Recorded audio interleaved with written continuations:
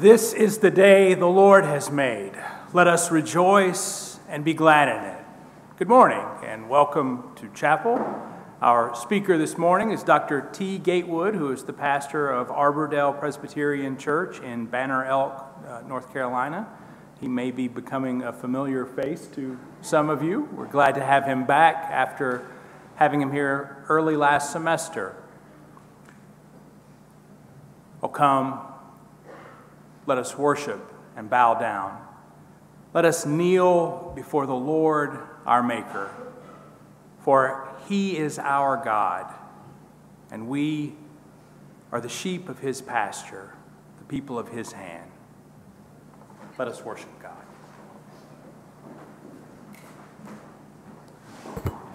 Our opening hymn is number 401. If you would please take your hymnals and stand and sing 401.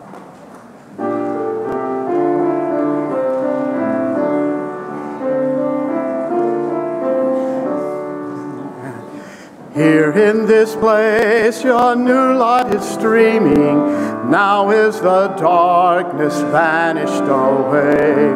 See in this space our dreams, our dreamings brought here to you in the light this day. Gather us in the lost and forsaken. Gather us in the blind and the lame. Call to us now, and we shall awaken. We shall arise at the sound of our name. We are the young, our lives are a mystery. We are the old who yearn for your face. We have been sung throughout all of history called to be light to the whole human race. Gather us in the rich and the haughty, gather us in the proud and the strong. Give us a heart so meek and so lowly, give us the courage to enter song.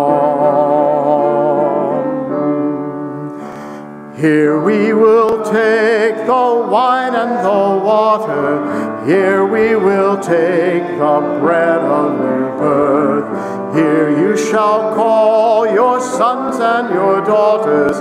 Call us anew to be sought for the earth. Give us to drink the wine of compassion Give us to eat the bread that is you. Nourish us well and teach us to fashion lives that are holy and hearts that are true. Not in the dark of buildings confining, not in some heaven light years away here in this place the new light is shining. Now is the kingdom and now is the day. Gather us in and hold us forever. Gather us in and make us your own. Gather us in, all people together fire of love in our flesh and our bone. You may be seated.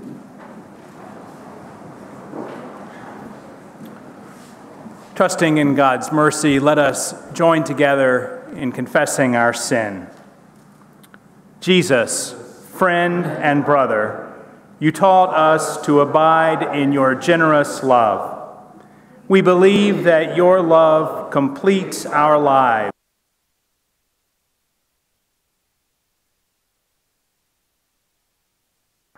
As you have loved us, for love brings your creation to fruition.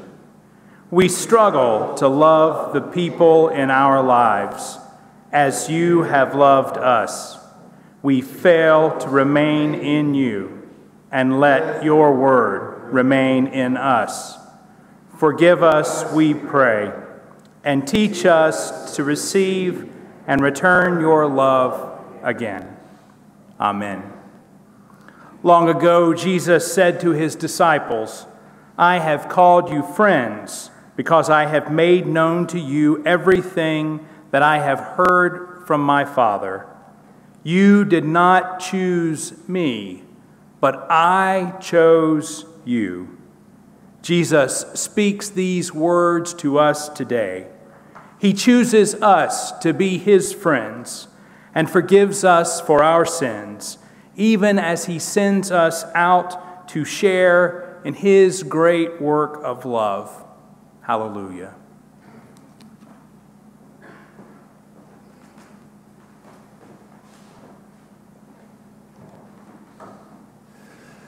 Good to be back with you guys. Always fun to drive to Bristol, uh, to come here and to see the campus. I saw the baseball team out wrapping it up this morning.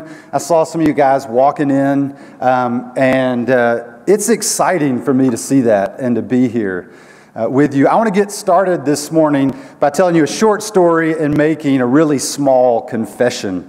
Um, there is a Presbyterian evangelist named Ray Jones. Now, for some of you, Presbyterian evangelist sounds like an oxymoron, frozen chosen, going out to share the faith. Nevertheless, Ray Jones is a great um, speaker. He's a great preacher. He's a great teacher.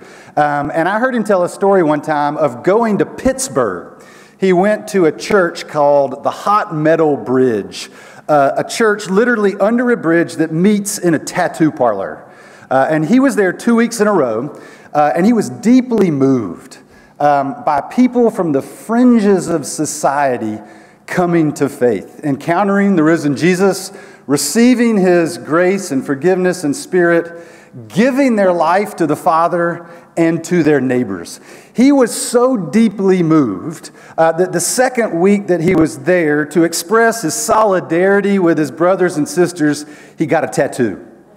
Um, now, Ray Jones is a middle aged white guy that always wears khaki pants and a button down shirt. So, as he told this story, I was leaning in and he was unbuttoning his shirt like this, and I was getting ready to see a big fat tattoo.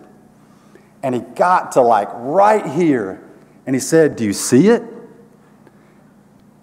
And everyone leaned in, and it was smaller than a dime and lighter than the hair on his arm. And we all laughed, like you didn't laugh. You were supposed to laugh at that. Uh, because it was ambivalent, right? He wanted a tattoo.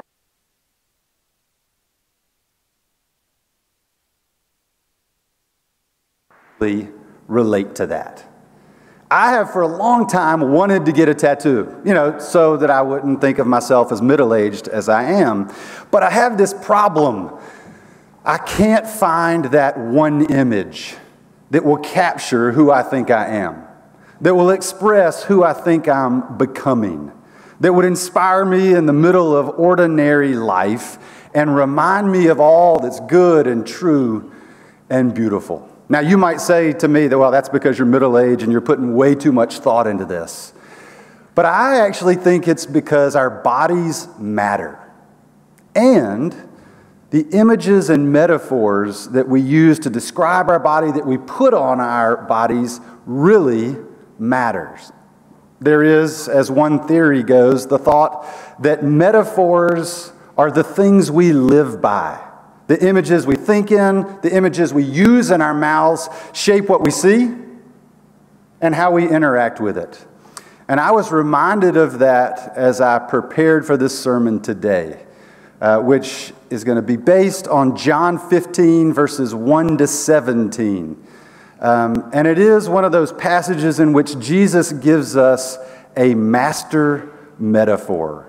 So, whether you read along or whether you listen, let me challenge you to listen well and listen carefully, because this too is God's Word.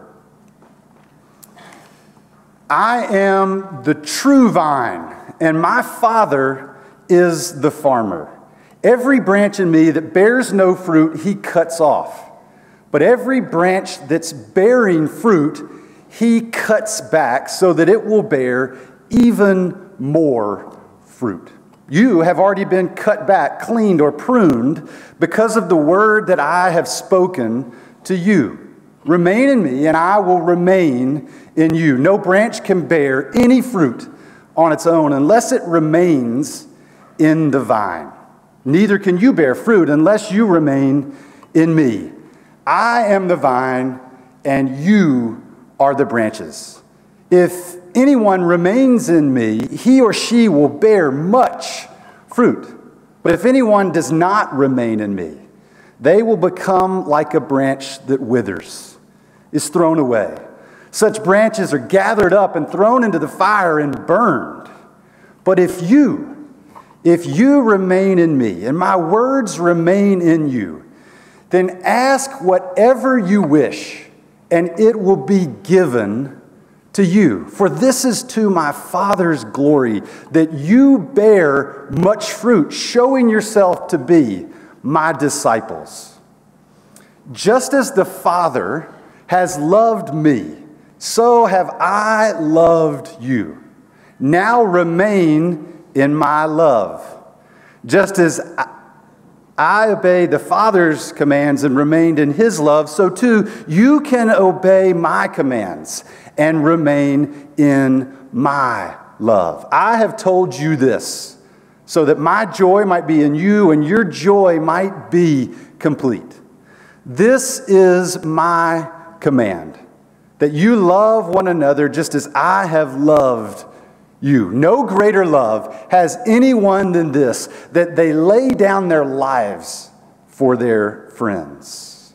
I no longer call you servants, but I call you friends. A servant does not know his master's business. But everything that I have learned from the Father, I have made known to you. You did not choose me, but I chose you. And I have appointed you to go and bear fruit, fruit that will last. Then, then you will ask for whatever you wish in my name, and the Father will give it to you. This is my command love one another.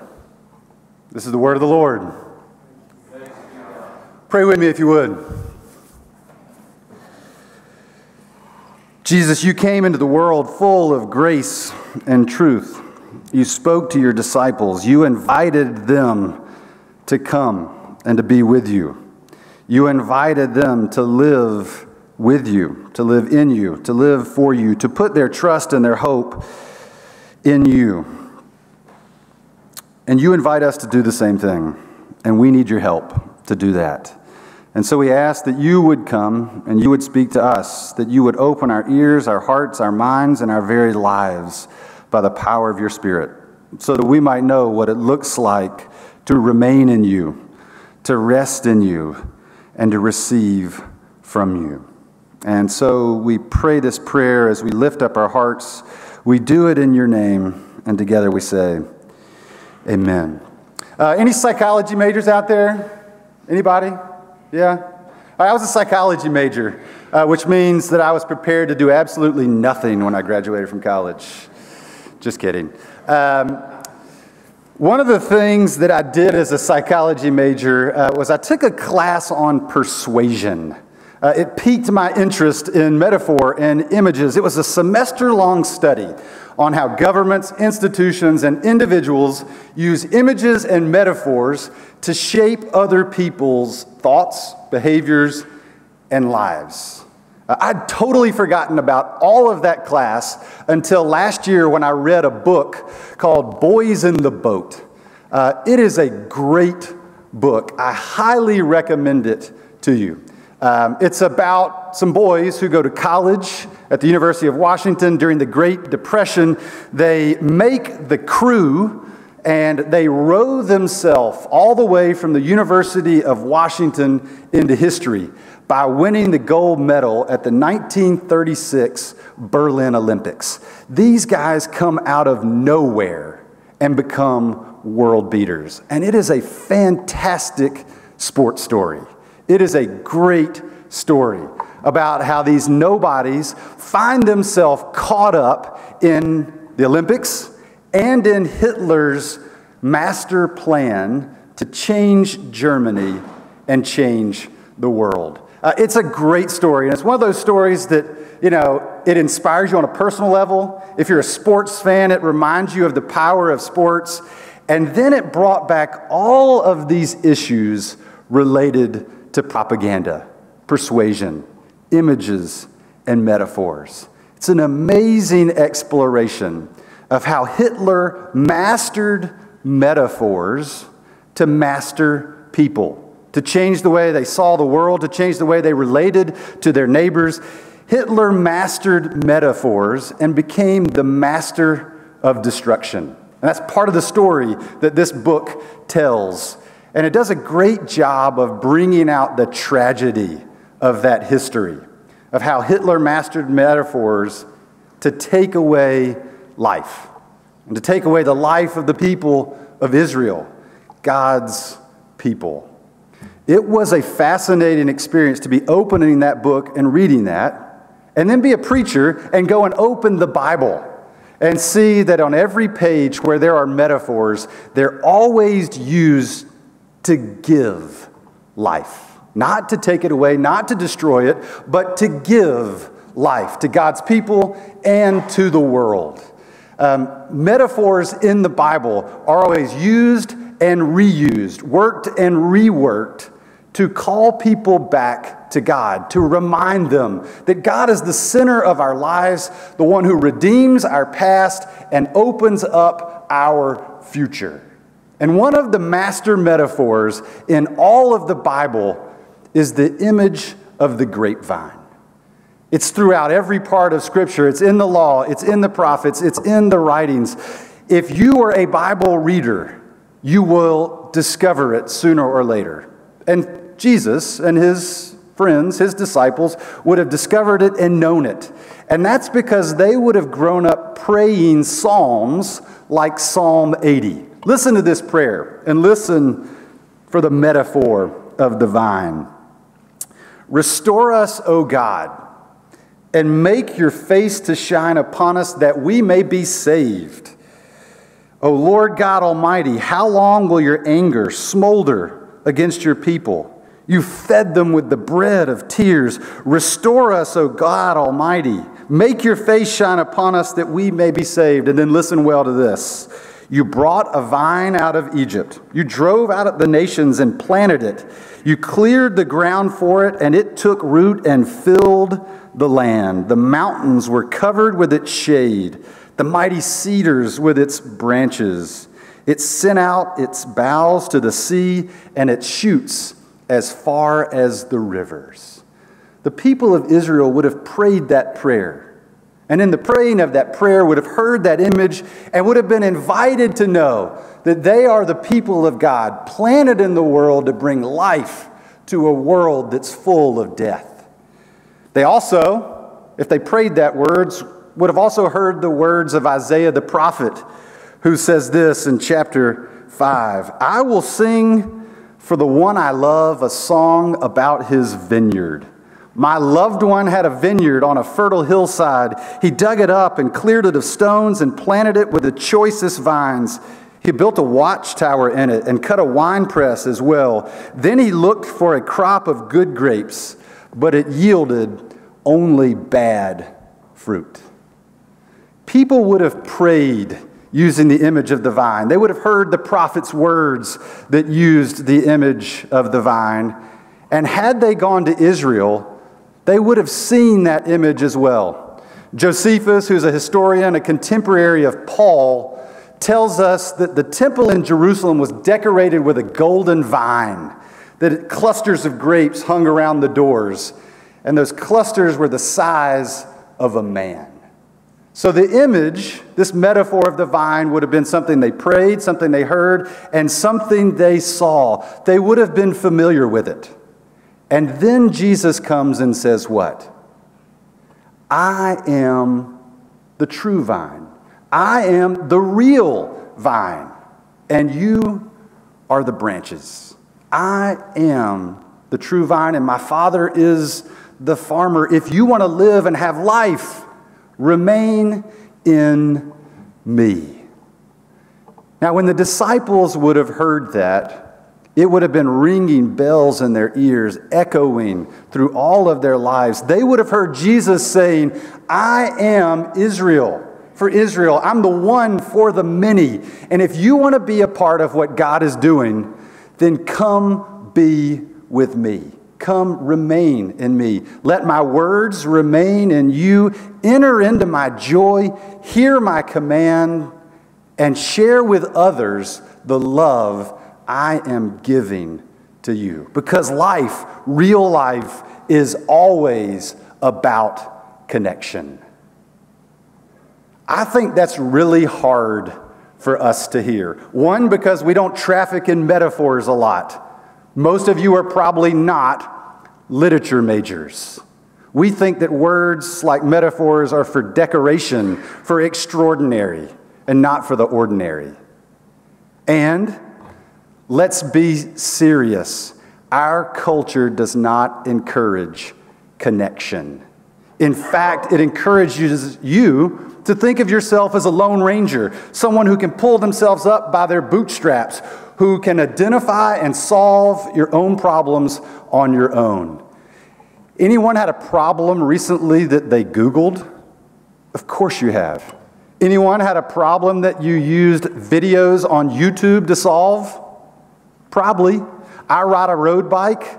I have to maintain it because I don't have any money because I'm a pastor. It scares my wife to death when she knows I'm watching YouTube to fix my brakes.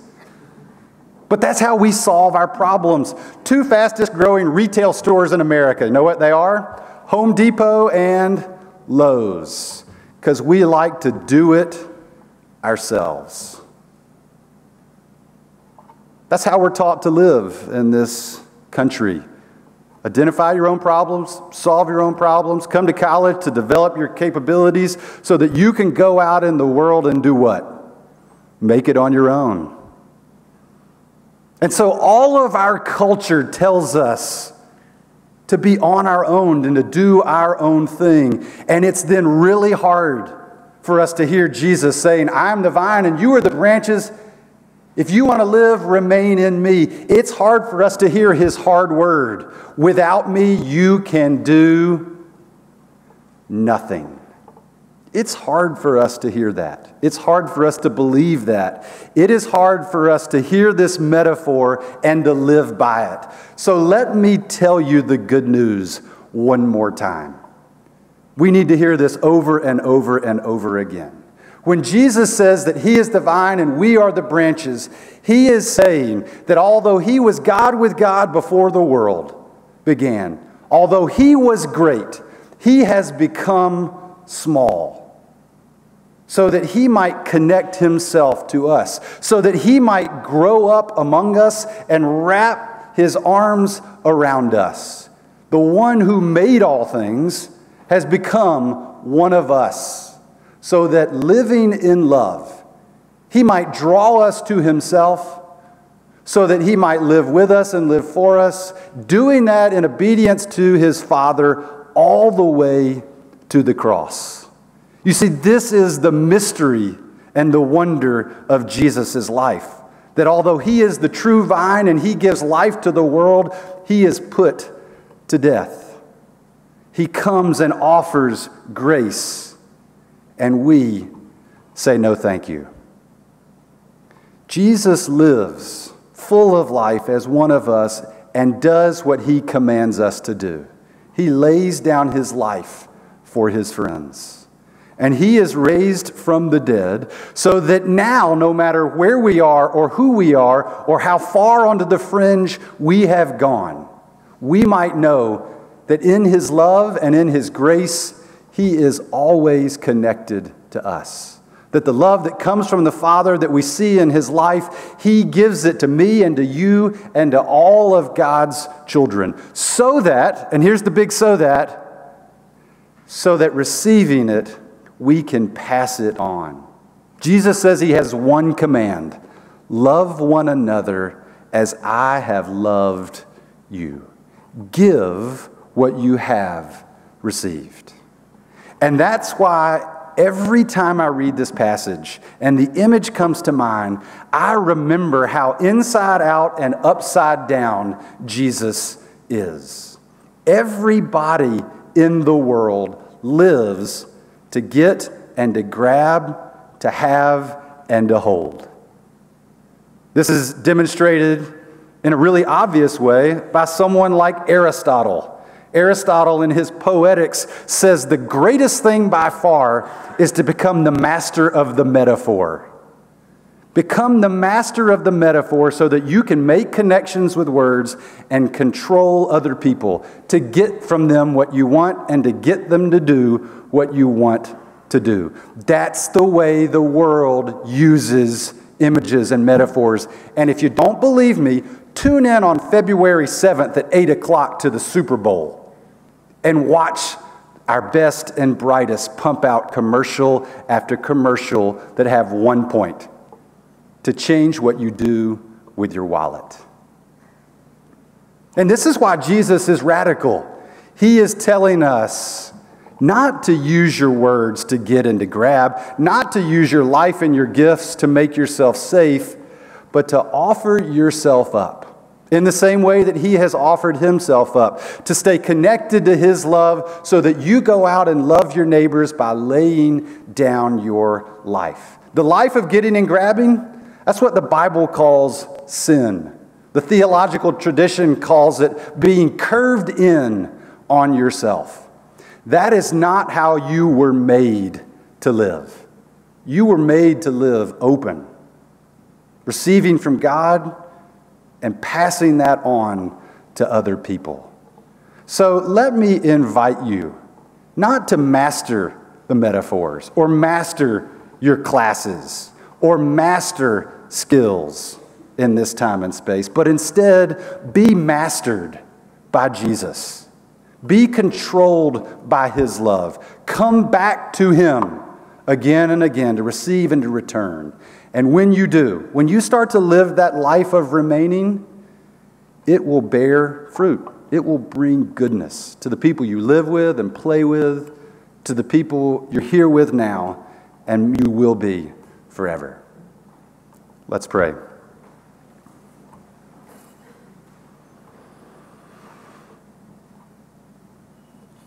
God, we can only come to you and trust in you and receive from you when we see your love embodied in your Son Jesus, when we see him coming into this world to give himself to us so that we might go and give our gifts to others.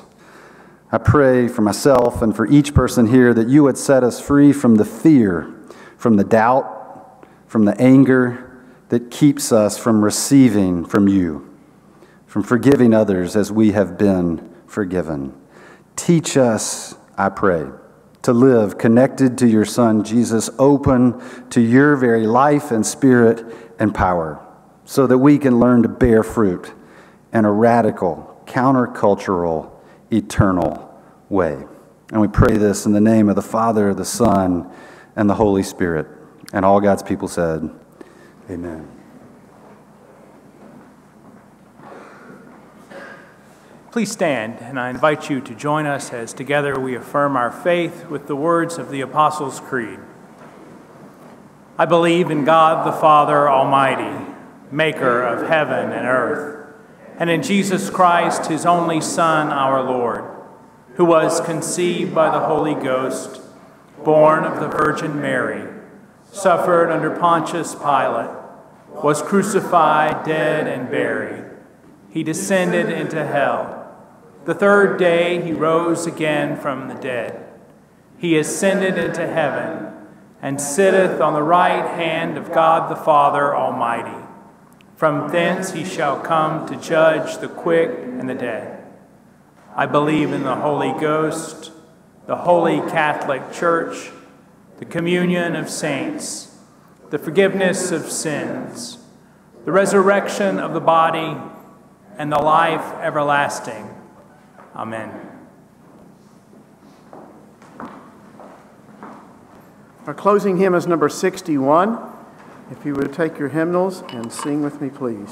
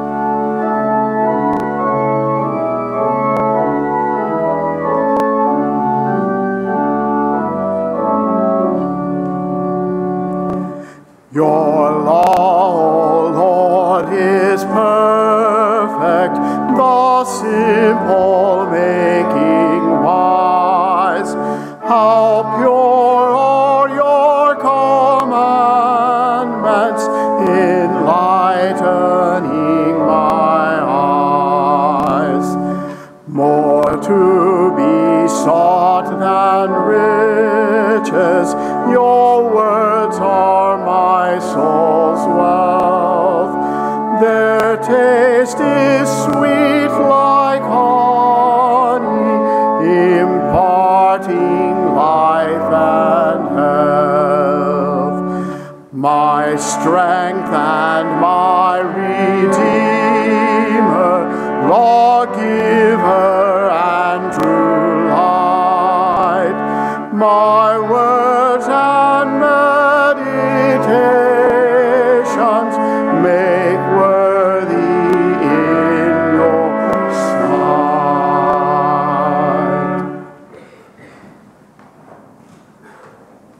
Paul tells us that Jesus is the end of the law, the one who fulfills it, who makes it a gift, so that we find in obedience to Jesus and the law joy. That only and always starts when we first receive God's blessing.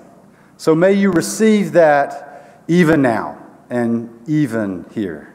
May the grace of our Lord Jesus Christ, the love of God the Father, and the fellowship of the Holy Spirit be with you and those you love, both now and forevermore.